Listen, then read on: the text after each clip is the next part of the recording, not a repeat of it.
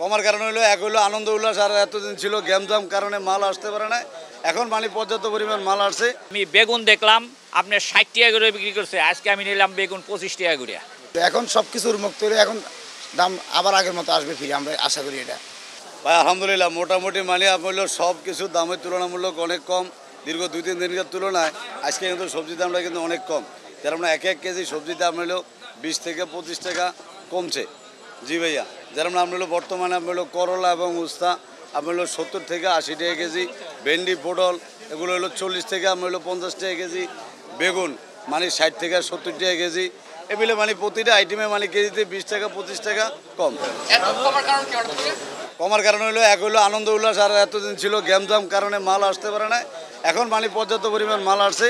আসার কারণে মানে আপনার হলো কাঁচামাল এগুলো তো রাখার জিনিস না না রাখার জিনিস কারণে মানে আপনার হলো এগুলো যে কোনো দামে বিক্রি করা প্রয়োজন।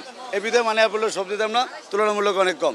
বাজারে কাঁচামাল জাতীয় জিনিস যেগুলো মানে উদ্যোগতি ছিল সেইগুলো সব নিম্নমুখীর দিকে দেখলাম। আজকে আমি ওই গত পরশু দিন আমি দুশো আশি টাকা করে কাঁচামরিচ কিনছি। আজকে দেখি আমার কাছে একশো টাকা করে চাইলো। হ্যাঁ, চারশো কিনছিলাম। আমি তিনশো একশো টাকা করে আমার কাছে এখন চাইলো। আমি তাও এটা খুচরা।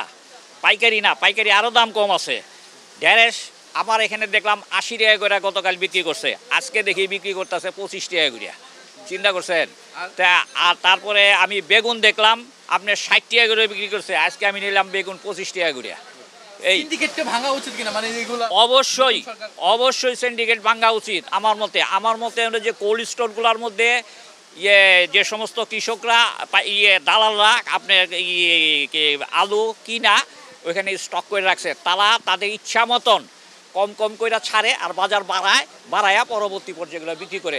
তা আমি মনে করি, ওই সমস্ত কোল্ড স্টোরে একটা নির্ধারিত দাম জুলাই দিয়া এর উপরে কেউ বিক্রি করতে পারবে না। যদি বিক্রি করে, একটা মোবাইল নাম্বার দেওয়া দেওয়া উচিত, দিলে যেন তারা আইসা, এটা আবার তাদেরকে ই করে কি বলে পানিশমেন্ট দেয়। এই হলো আমার কথা। যে মিনিকেট সেল ছিল পঁয়ষট্টি টাকা, এখন সত্তর টাকা। যে আটার সেল ছিল পঞ্চান্ন, এখন ষাট টাকা। যে মোটা সেল ছিল বাউন্ন টাকা, এখন ষাট টাকা। সব সেলের দাম বাড়ছে কেজিতে পাঁচ থেকে ষাট টাকা। এই এক সপ্তাহের ব্যবধানে।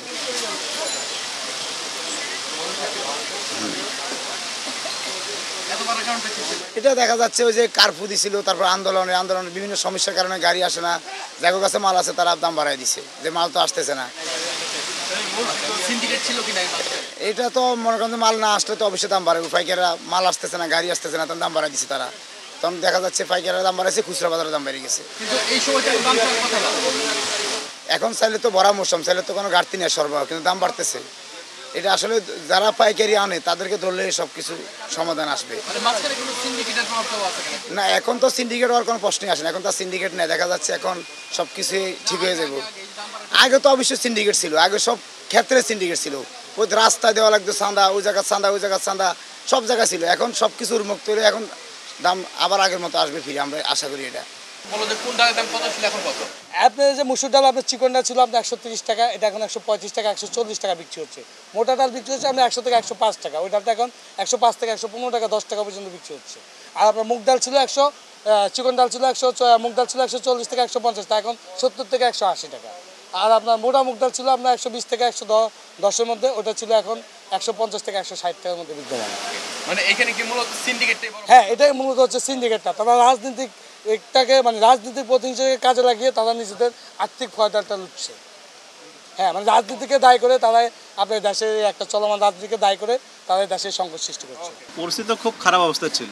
এখন আলহামদুলিল্লাহ মোটামুটি অনেক কিছু শান্ত হয়েছে। ব্যবসা বাণিজ্য তো আমরা আস্তে আস্তে খুলতেছি। যদি এখন আগামীতে যারা আসে তারা যদি সব কিছু সিন্ডিকেট ভাঙ্গা আগের পুনরায় আমরা আসতে পারি, অনেক জিনিসের দাম। আলুর কেজি বিশ টাকা, পঁচিশ টাকা, সেই আলু সত্তর, আশি টাকা। একটা পেঁপে সবজি ভিতরে সবচেয়ে কম দামা পেঁপে। এটা মানুষ খাইতো না। দেখা গেছে বিশ, পঁচিশ টাকা, সেটা আমরা পঞ্চাশ, ষাট টাকা করেছি। এরকম যত কিছু আপনাদের কাঁচামরিচ কেজি চল্লিশ, পঞ্চাশ টাকা সেটা মাঝে মধ্যে চারশো টাকা হয়ে যায়। সিন্ডিকেট দেখা গেছে তারা আনছে, টাক ভরে আনছে, ওরা বিক্রি করবে। ওরা স্টক করে রেখে দিয়েছে, দাম বাড়ছে, তারপর তারা বিক্রি করবে। এরকম আমরা সবাই জিম্মি। জিম্মি ছিলাম। এরকম সব ব্যবসায়।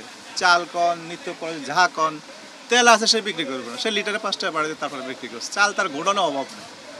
সে জায়গা জায়গা এরকম সিস্টেম করে দিয়ে আসতে, দিয়ে আসতেছে জায়গা শুরু থেকে।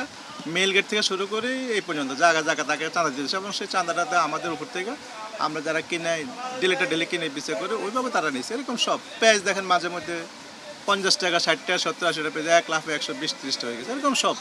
এই নিত্য প্রয়োজনীয় আমাদের যা দেখেন, পঞ্চান্ন টাকার আটা হয়ে গেছে একশো টাকা।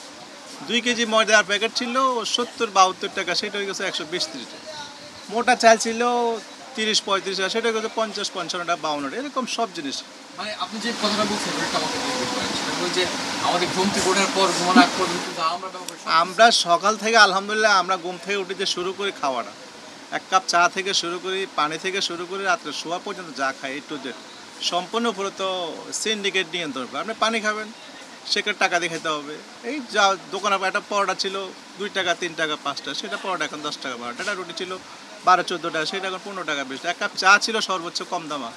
যে রং চা ছিল ষাট টাকা, আট টাকা, সেটা এখন পনেরো টাকা। একটা রোদ চা ছিল আট দশটা সেটা গেলো প্রায় বিশ টাকা, পঁচিশ টাকা। এরকম সর্বক্ষেত্রে আমরা আল্লাহ আমাদেরকে রাখছে আমরা ছিলাম।